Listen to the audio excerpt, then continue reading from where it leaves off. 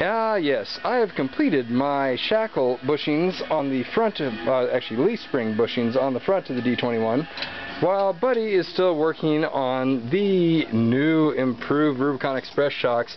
Buddy installed something backwards on both sides. now he's fixing it. It will be better.